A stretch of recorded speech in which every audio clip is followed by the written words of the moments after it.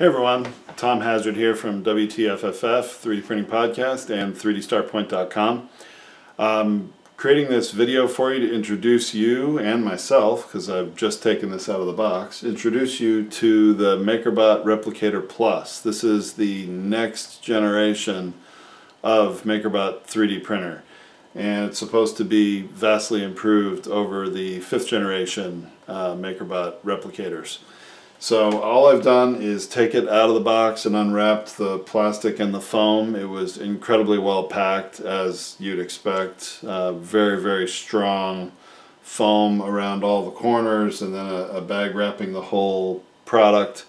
And then um, there's a box here that's a getting started, you know, box. So what I want to do first is I'm going to take my camera off the tripod there and I'm going to walk you around sort of close up some of the, th the things that it's sort of obvious to see what's different about this 3D printer and also what's in this getting started guide then I'll put it uh, back on the mount so forgive the camera moving a little bit um, as I then go through and follow the instructions to set it up and, and create a first print and really see how different this 3D printer is. So again uh, forgive a little bit of shakiness here as I get this in my hand. All right, we got it now. So immediately what I noticed and at the top of the printer is the gantry section here. This is actually um, a, a, aluminum, anodized aluminum. I don't know, it's a structural piece or just a cover. I'm not really sure. You know, th this area is obviously where the extruder goes. It's the, you know, it is where the Smart Extruder Plus uh, will actually attach. And uh, you can see I haven't even removed the orange plastic clips both here for the z-axis and here on the sides. There's one here and one here that are holding really the gantry in place keeping it from moving and shipping. Uh, they still are using the drawer. Oops I'm gonna have to it's hard to do that with my left hand Oh, there we go. They're still using the uh, sort of vertical drawer for the filament, which you snap onto here and then route it through this, uh, you know, Bowden tube to go down to the Smart Extruder Plus. Uh, and really, from all appearances, the actual housing of the printer um, is, it appears anyway, to be identical and having the same size screen, same size dial, and two action buttons here, and then the USB um, USB flash drive for printing from file. Um, it, you know, appears to be all the same. One of the major differences really are, like I said, are here, and there's clearly a different structure here in um, the support for the extruder and how it moves us around the XY axes. And then the other major difference is the build plate. So the build plate, which you can see I haven't even removed the foam that supports underneath it yet, and I think this orange is tape that will also be removed. But I'll read the instructions and confirm. But the build plate itself, um, the whole thing appears to be larger, although I don't think the build volume of the printer is any larger, but the plate surface is larger and it's a very different surface. It feels like a kind of like a BuildTak kind of a surface. I'm sure it's not that brand material or it would say it on it, but um, it's definitely a different surface. Whereas the existing um, MakerBot fifth generation build plate was uh, glass, and actually I can show it to you over here because I have my fifth generation machine right next door here.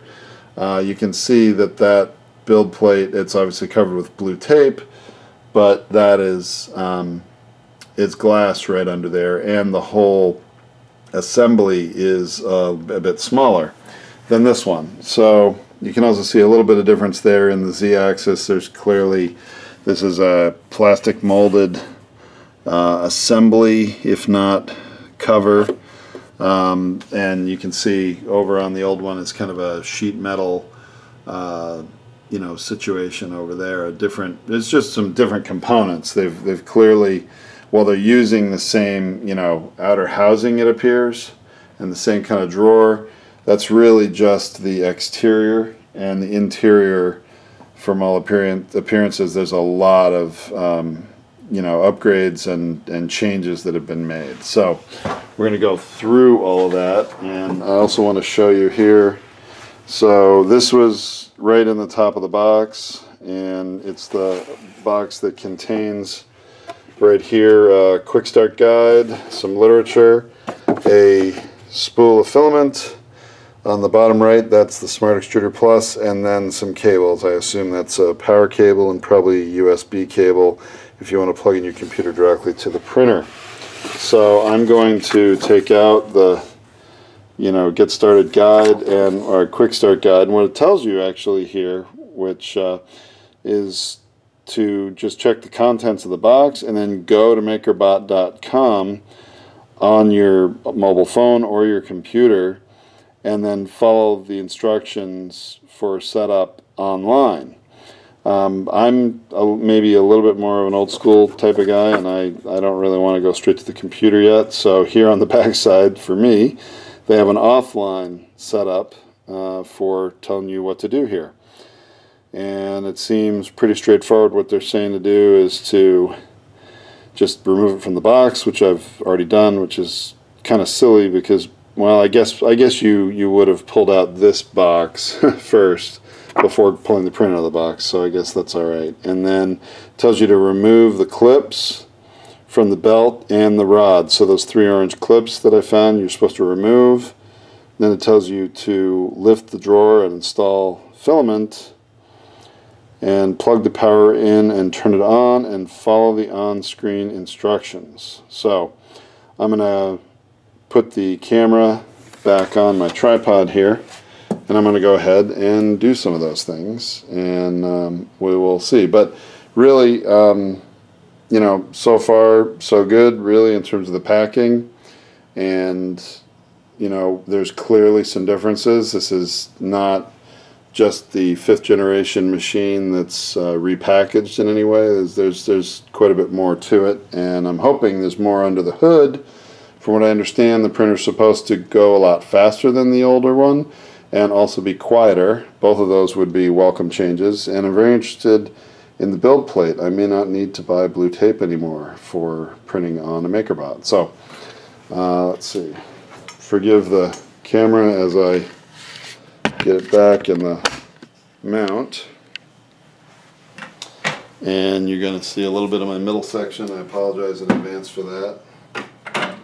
But okay, that clip really pulls out quite easy. It seemed to have uh, been holding on to some belts that were there and keeping that from moving. And then there's this clip in the back that I've removed. I'm going to hang on to those. Now, I've never been a fan of the drawer. Um, I really don't use it on my 5th gen machine. In fact, I'll show you.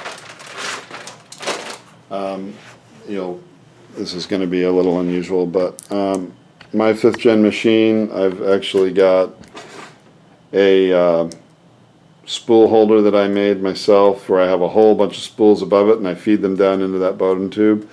So uh, eventually I'll probably do something like that here as well. And let's see, I'm just going to get this set up again. Oops, maybe it's a little too low.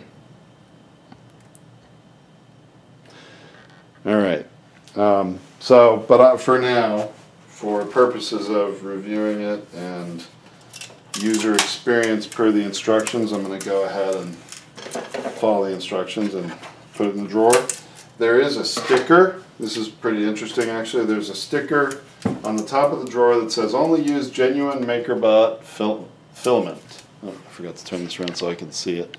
Uh, only it's a there's a sticker right on the top of the drawer here which says only use MakerBot filament, tested and optimized from MakerBot printers. Using third-party filament may void your warranty. Well,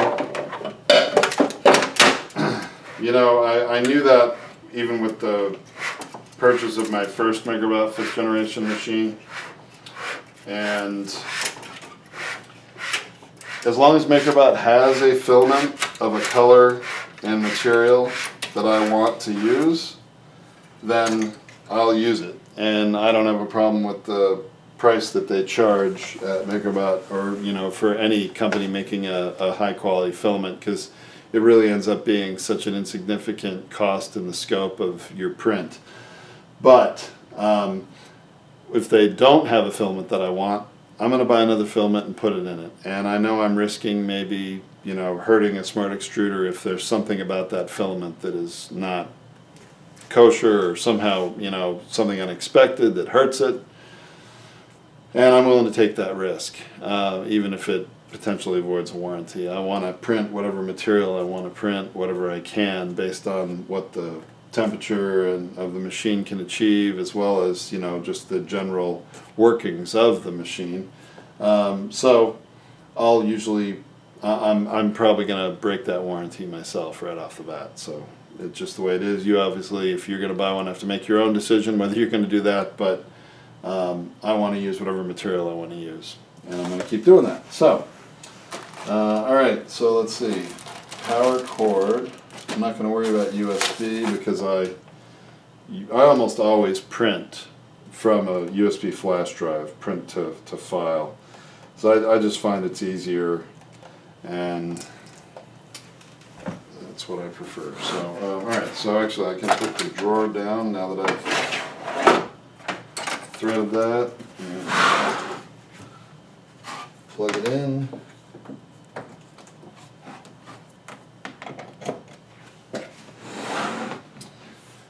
And turn it on. Now the power switch is in the same place as the original. And now I'm going to have to follow instructions on the screen because as it says here I've, I've gone through everything else uh, that it says to do. So it's going to power up. That may take a minute. It's funny how it didn't even tell me to pull out the foam from underneath the, the gantry, uh, or the gantry, sorry, the foam from underneath the build plate here. But I'm going to follow the instructions just like I was a brand new user. And we will see how that goes.